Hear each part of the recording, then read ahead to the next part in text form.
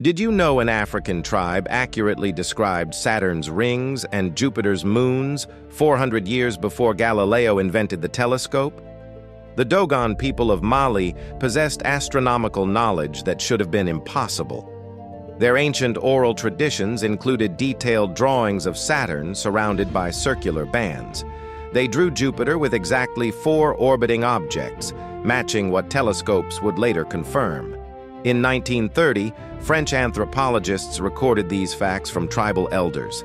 The elders claimed this knowledge came from sky teachers centuries earlier. But here's what's truly mind-blowing.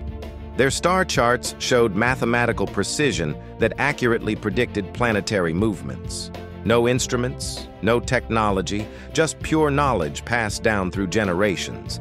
The most shocking part? They knew about Sirius B's 50-year orbit around its companion star. Modern astronomy didn't confirm this until 1970. How did they know what we couldn't see without advanced telescopes? The Dogon people had cosmic knowledge that challenges everything we think we know about ancient civilizations.